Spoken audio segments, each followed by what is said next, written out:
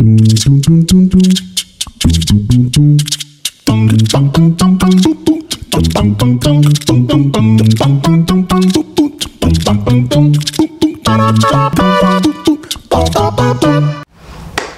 is up guys? Welcome back to my channel. Today I have another very special guest. This is my mom. This is Kelly and today I am doing her makeup. So just like I kind of did my sister-in-law's makeup before, today I'm doing it on a different type of skin slash complexion person and no, I know, we don't look anything alike. but I'm gonna show you up close uh, how I would do her makeup, a little youthful. I let her pick out her eyeshadow. She wanted to do sparkly and we're gonna do more of like a green look, but toned down as always.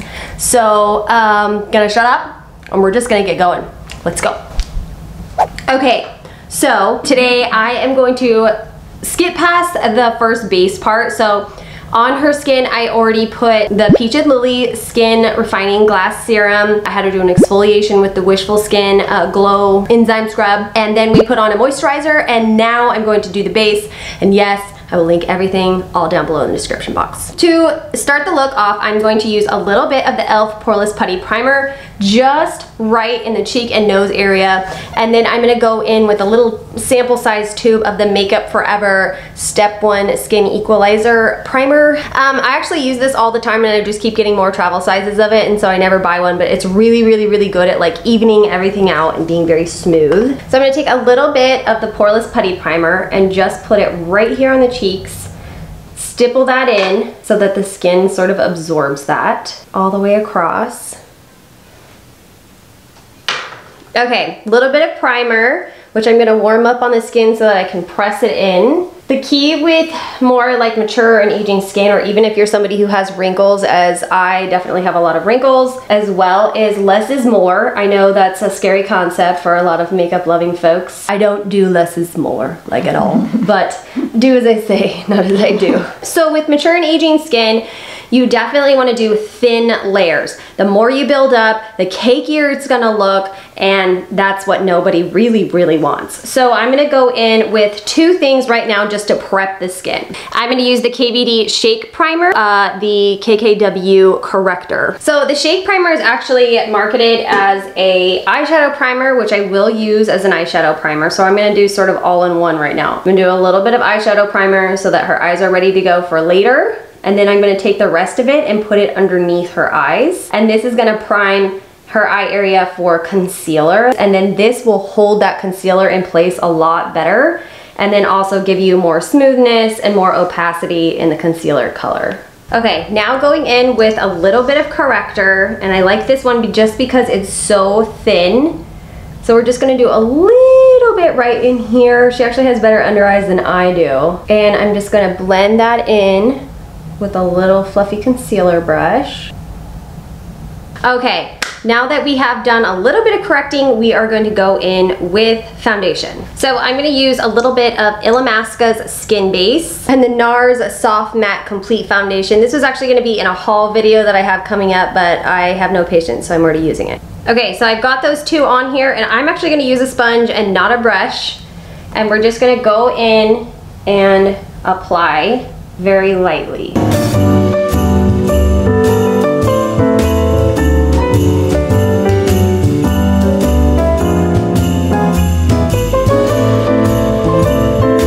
Now I'm gonna go in with a very, very light layer of concealer. I'm gonna use Dior's Forever Skin Correct Concealer. This is really, very creamy and very opaque.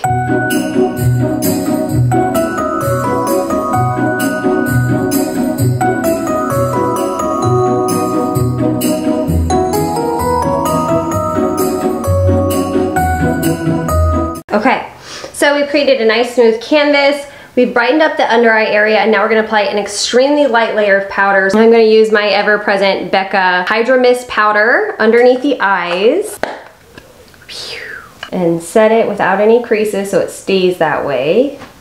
But this is such a really finely milled powder and it's cooling and hydrating that it's not too terrible underneath the eyes. I was gonna use a different powder, but I think I'm just gonna go ahead and use this for the rest of the face as well.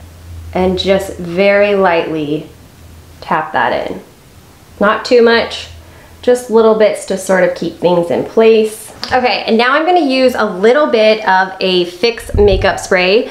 Um, this just sort of sets everything in, melts it all together and meshes it well. Um, and then also provides a little bit of moisture. And it smells like roses, so it's amazing. Mm. So now that we have a nice base happening, I'm gonna go in and just add a very small amount of contour. Right here, just a small amount. You don't wanna go in too far and really hollow out the cheeks. You want it to still be really youthful and have a, like a nice full plump face. So we're just gonna carve out a very small cheekbone on the side here. Since I don't wanna add two inch layers and I don't wanna add thick product, I'm actually gonna use a foundation for the contour. So this is a Sisley foundation uh, called Phyto Tint. It's super, super thin, but also very opaque and, and very runny. So it'll be much easier to work with putting it down exactly where I want it. So I'm gonna add a little bit to that same makeup palette. I'm gonna take this really strange looking KVD uh, beauty brush. It's supposed to be a concealer brush, but I love the shape of it, so I use it for everything but that. And I'm gonna take a little bit of that um, foundation and we're gonna use this to carve out. Dab off the excess so it's not too much all at once. And always make sure you're up at the hairline.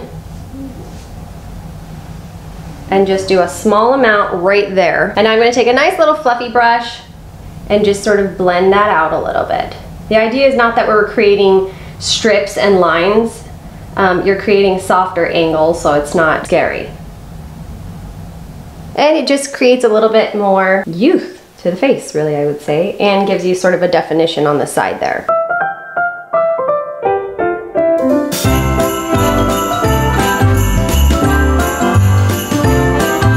Okay, so since we're here, I'm also gonna add just a titch right here and just a titch right here.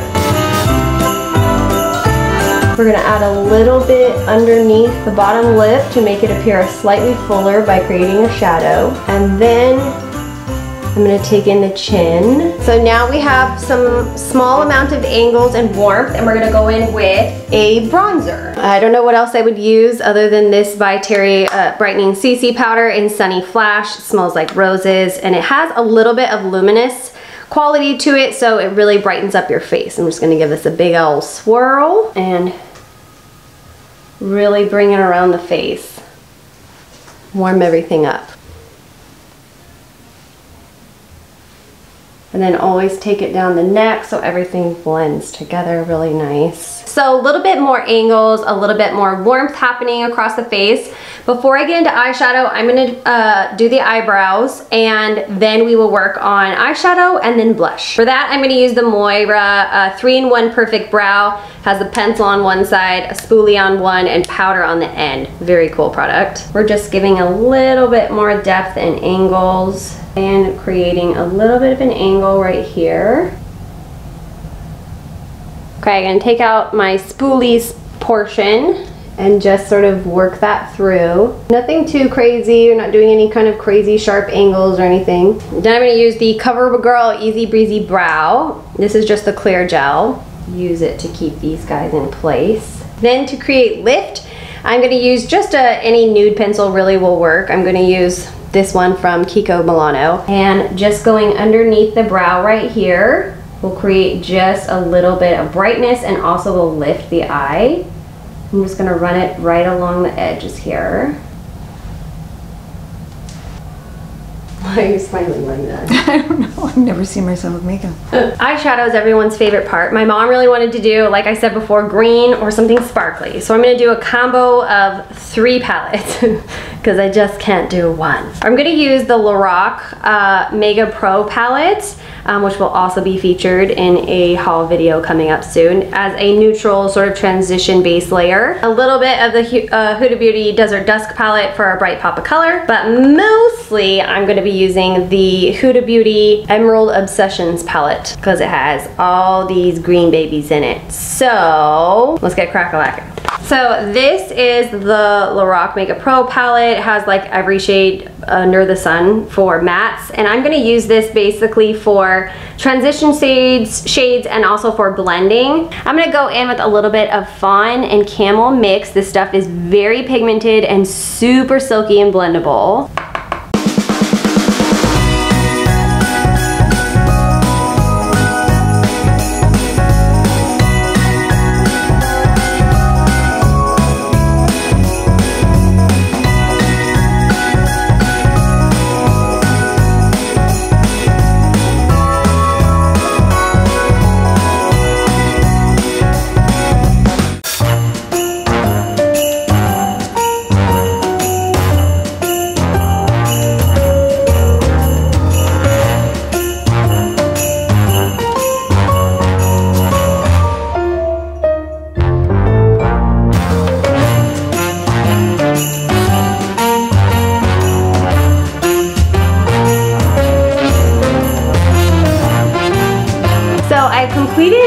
The green color and I blended it out really far over here because I wanted to make sure I had an elongated eye. But now we're gonna clean that up. To do that, I'm gonna use this Galactic Smudge Eraser Stick. This is like a lifesaver and you just use it exactly where you wanna smudge or clean up. So I'm gonna use it right along right here and you just go right like this. So now I'm going to apply a little bit of eyeliner. I'm going to use the Charlotte Tilbury Feline Flick as a liquid liner. And I'm also going to use L'Oreal's Le Liner, which is amazing. You can put it in the waterline and it doesn't even budge. And I'm using this really dark, like navy indigo blue. And we're going to smudge it along the lash line here.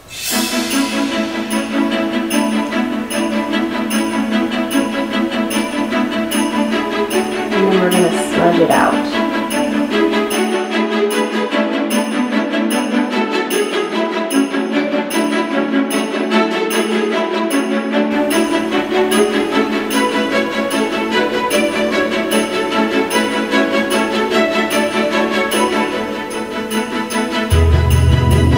Now we're gonna add the smallest tiny little amount of black liner with the feline flick just on the outside edges.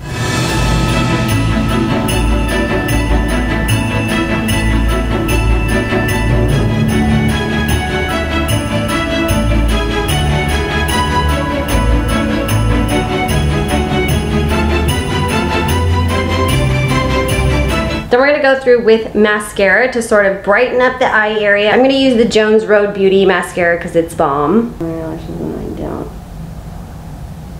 The same blue indigo Le Liner that we used before in the water line. That way it sort of evens everything out. I don't wanna use too much eyeliner, even though we're doing like a really fun, not everyday look, we don't want to necessarily weigh everything down with too much darkness. So we're not going to put any on the bottom as always, and we're going to fill it in the waterline a little bit just to create a thicker lash line.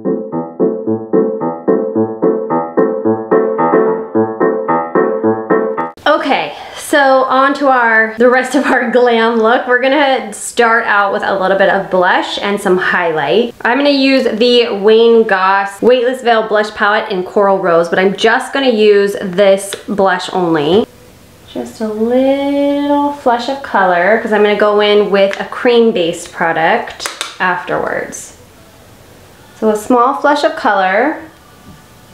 Now I'm going to use Danessa Myricks Lightwork palette. This is literally just a palette of the most amazing highlights you've ever seen in your entire life in a variety of shades. I'm gonna use probably a mixture of Common Sense um, and Smooth Sailing and I'm just going to dab a little bit and I'm just gonna do a very light layer. The best part about this palette and this particular product really does not emphasize texture, which is a really amazing idea in the concept of highlight because that's usually what highlight does is emphasize texture.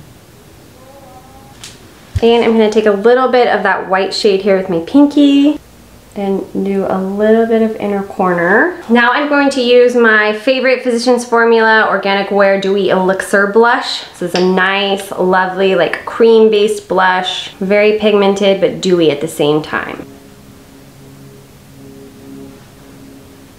Last but not least, we are going to do lips. I'm going to use these two products, which is the Maybelline Lifter Gloss, which everyone knows I love, and my same old uh, Wayne Goss uh, Essential Lip Pencil in Mauve.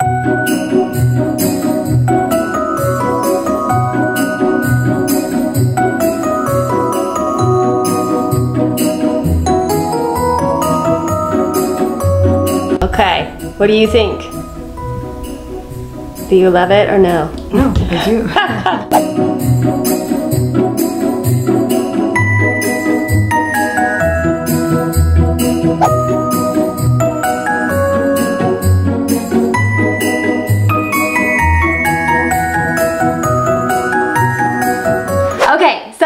is it. I realize this is not like your everyday mature and aging skin. This is fun. Makeup can be fun. It doesn't matter how old you are, young, old, whatever is the age. If you wanna do green sparkles, do green sparkles, live a little. She actually wanted to do it because she wanted to wear her little Christmas beanie. So we did green eyeshadow to match and it's just fun. Yeah, this is the final look. Do you like it? I love it. there we go. Happy customer. All right, before you head out, of course, don't forget to subscribe to my channel. Hit the notification bell so you can be reminded the next time I upload a video, which should be my Black Friday makeup haul, but I don't know. We'll see. Hit the like button if you like just watching people do fun makeup and learning new tips and tricks. Definitely don't forget to check out the community tab on my page, vote in one of the polls. Follow me over on Instagram and like to know, which I will link down below. In addition to all the makeup that we used in today's video. I will also link down below as well. And website should be coming soon. I'll definitely let you guys know when that happens. And yeah, that's all we got for today. Thank you so much for watching and hopefully I will see you in my next video. Bye.